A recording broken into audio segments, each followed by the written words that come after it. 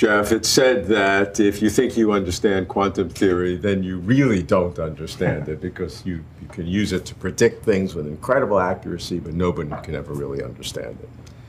Your work um, is, uh, gives us a new perspective, potentially, on quantum theory. How does it work?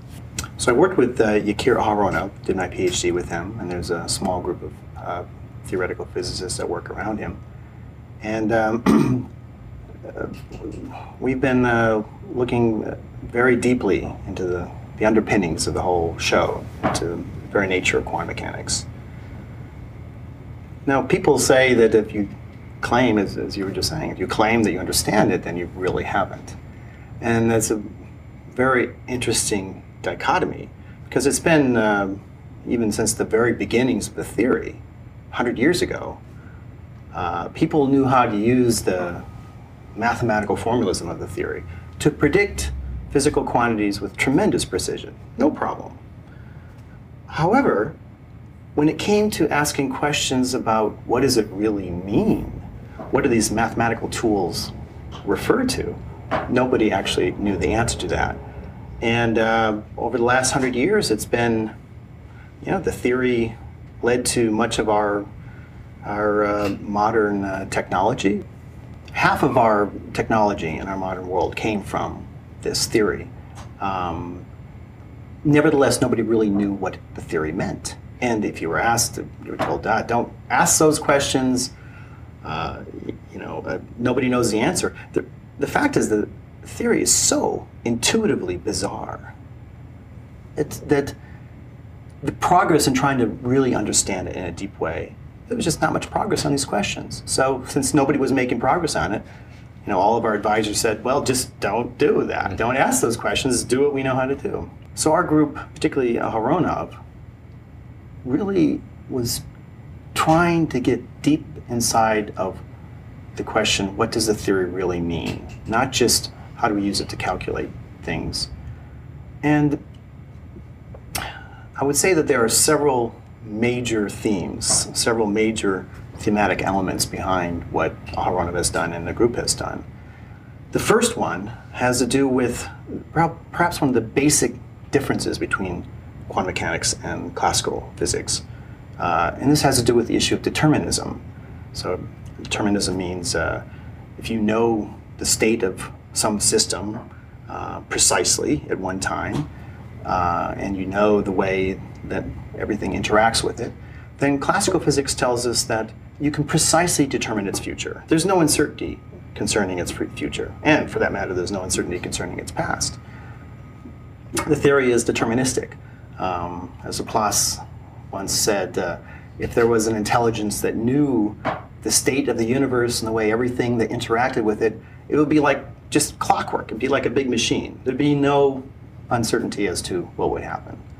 Uh, and um, in quantum mechanics, uh, the first thing that uh, that showed up is that that beautiful notion went out the window completely.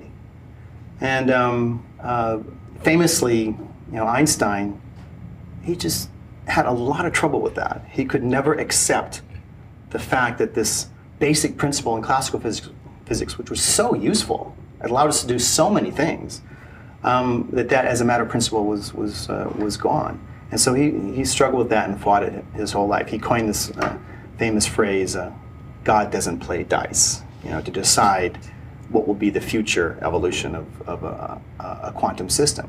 So, for example, let me give you an example to be to be clear about it.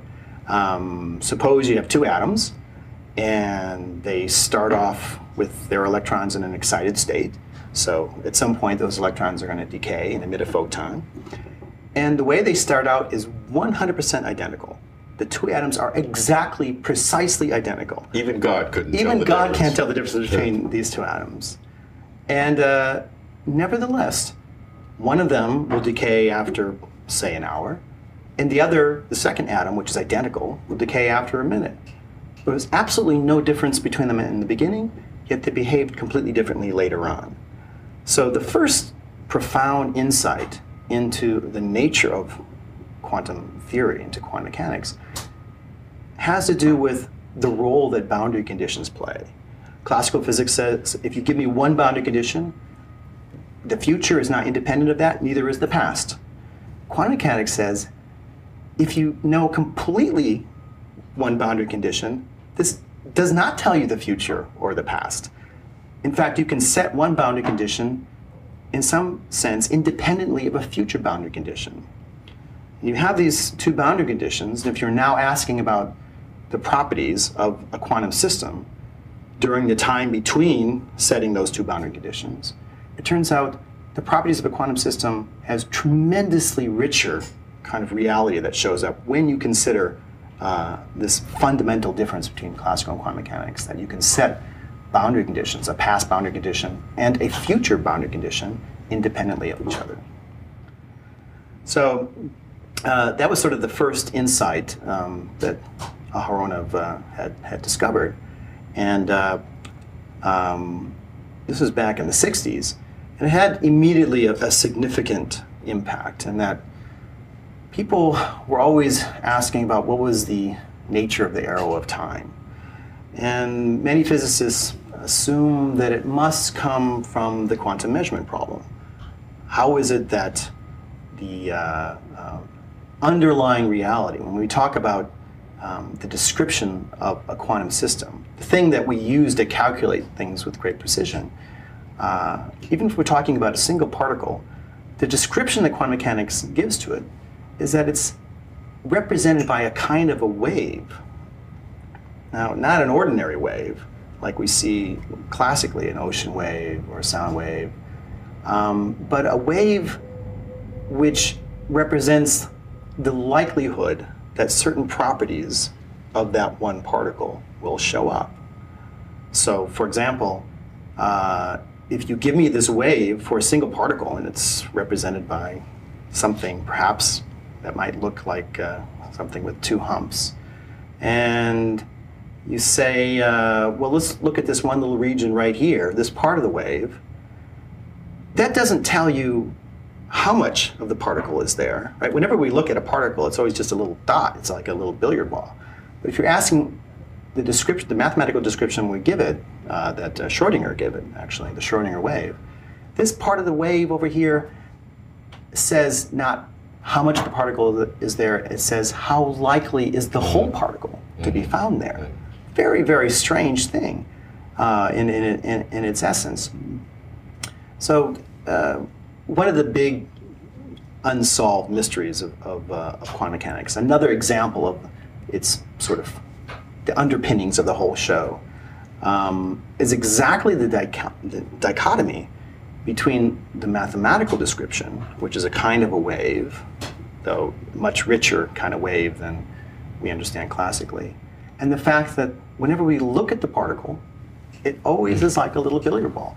And this is famously demonstrated by the, uh, you know, the double slit uh, experiment, uh, which illustrates this thing called the wave-particle duality or wave-particle paradox.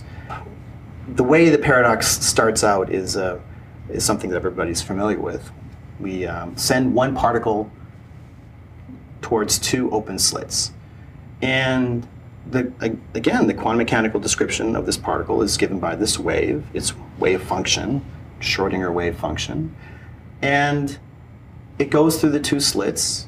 And when it goes through the two slits, it's represented by that's again this One single particle. particle is represented by kind of two humps, as you would expect if a you wave. sent a classical wave towards two slits. So in the bathtub, you would see, you know, uh, you, you, we have a basic intuition as to the way waves behave. I mean, they can add, they can subtract, they right. can do all kinds of interesting things together. So that, in fact, happens in the description. However, if we were the, then to ask, where is that particle? Where is that electron? We never see this beautiful extended wave.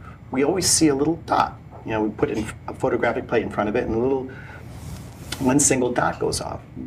So uh, this is a, and you might ask, how is it that we know that the correct description of this particle after it goes through the two slits is in fact given by a wave with two humps? Well, later on in time, we measured something called its interference pattern. So these two humps, as they evolve in time, eventually they start overlapping with each other. And as all waves do, we know, sometimes you have two uh, two uh, Peaks. Peaks. They add up, so you have this one plus that one ends up being a peak that's that big. If they're opposite, then they end up canceling. And we measure the interference pattern, and so we know that you know one particle at a time. Even though when that particle later on goes and uh, uh, you know, hits the photographic plate, you see a little dot of light. If you send many, many particles, even you do it over 10 years, one particle a week, you know, over 10 years, you see that it forms a pattern that's described as an interference pattern. So how can you explain that? Well, that's the big. That is the big mystery. In fact, uh, you know, famously, uh, one of the great icons of, of uh, physics, Richard Feynman, said that is a central mystery of quantum mechanics. And on the side, he would tell you, well, he certainly said nobody understands that. And on the side, he would tell you nobody will ever understand it, how it could be so strange. Um, it gets even stranger with two phenomena, which are, we believe, are at the very core, the very deepest part of quantum mechanics. I started off by telling you that the essential difference between quantum uh, theory and classical theory is the nature of the boundary conditions. Uh, in quantum mechanics, you can have many independent boundary conditions. In classical physics, you cannot. And uh, one of the big uh, breakthroughs that occurred was uh, a discovery um, a little over 20 years ago made by um, Yakir Aharonov and David Albert and Lev Vaidman. And the question they were asking was if we have these two boundary conditions, just how do they show up? How is it, what is the degree that they, they manifest themselves? Because even before that original discovery was made in the 60s, people knew how to calculate perfectly well all the properties of a, of, of a quantum system.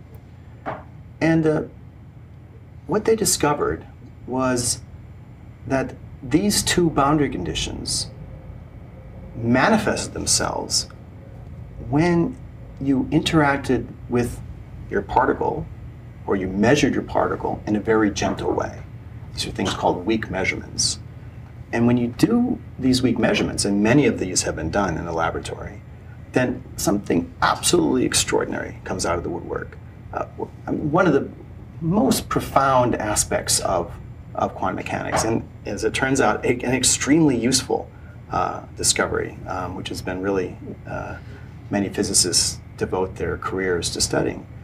Um, so when you do very gentle measurements, uh, it turns out what the kinds of properties that manifest themselves are dramatically different from anything else anybody had ever imagined could be the nature of the quantum reality. So how can that enable us to understand both the double slit experiment and the nature of quantum reality? So the first conclusion that we can draw from uh, the question of what does quantum mechanics mean is unlike in classical physics, the future plays a unique role in the present. And the way the future can play this role shows up experimentally in very extraordinary ways. The kind of reality that manifests is unlike anything anybody could even imagine. And many experiments have been done to actually verify this reality.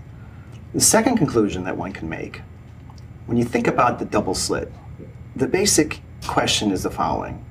You've got a particle, which always appears to be like a little billiard ball. Suppose it goes through the right slit, and you're sitting here opening and closing the left slit. How on earth mm-hmm.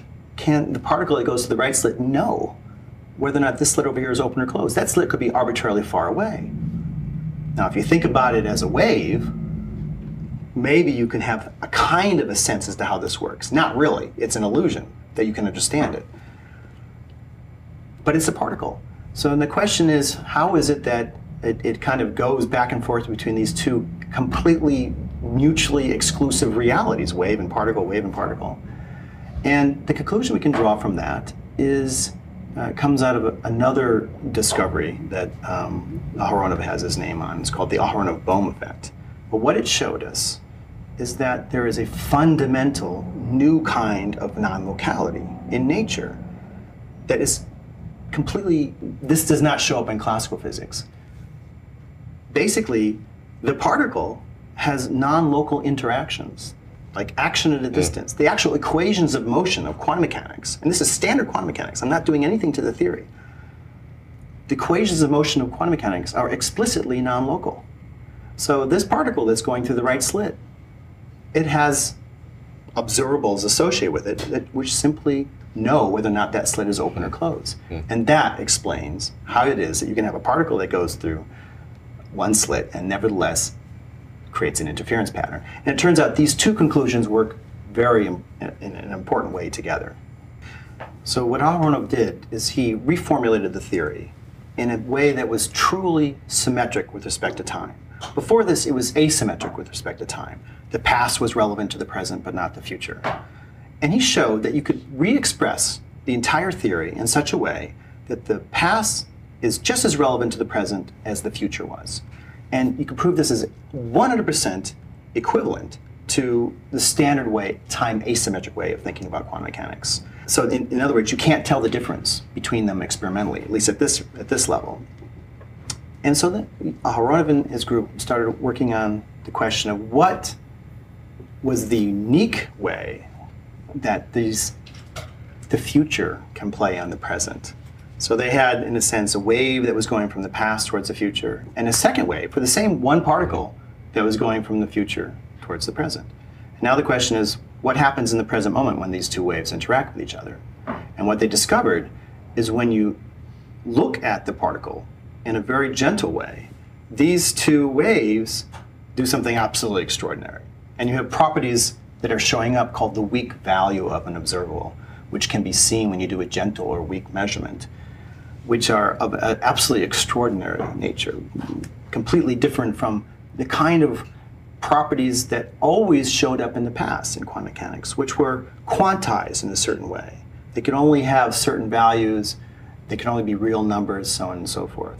The properties which showed up when you considered this basic theory, which had the past and the future having equal status for the present, the kind of properties were immensely richer than anybody had ever seen before or imagined.